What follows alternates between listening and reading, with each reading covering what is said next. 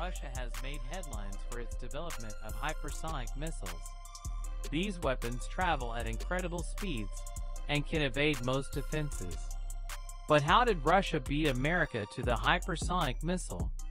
In this video, we'll explore the history and technology behind this game-changing weapon.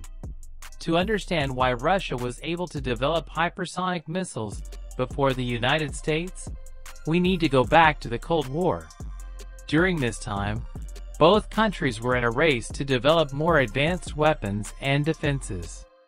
However, after the fall of the Soviet Union, Russia's military technology fell behind.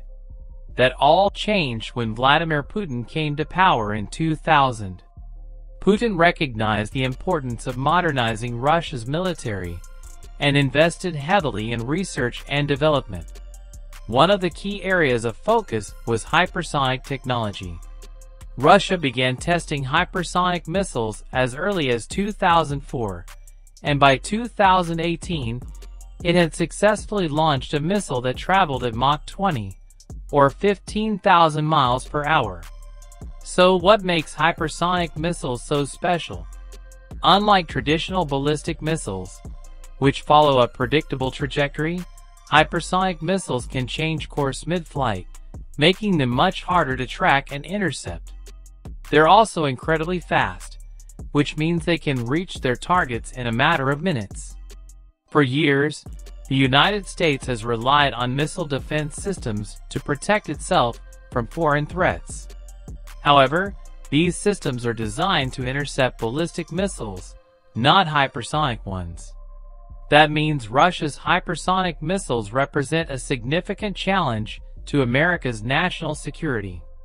The United States has been caught off guard by Russia's hypersonic technology. We simply haven't invested as much in this area, and we're now playing catch-up.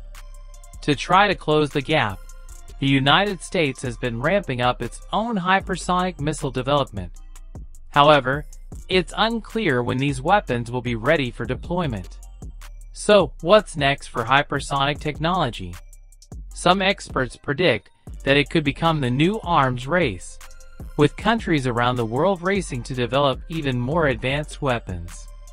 Others worry that it could lead to an increase in global tensions and instability. Whatever the future holds, one thing is clear, hypersonic missiles are changing the face of modern warfare. And for now, Russia is leading the way. It's important to note that hypersonic missiles are not a silver bullet. They have their limitations and vulnerabilities, and there's still much research and development to be done. It's also worth noting that the United States is not standing still. It's investing heavily in hypersonic technology, and some experts believe that the US could catch up to Russia in the near future. The hypersonic missile race is just one part of a larger technological competition between Russia and the United States. It's important that we continue to invest in research and development to stay ahead of our adversaries.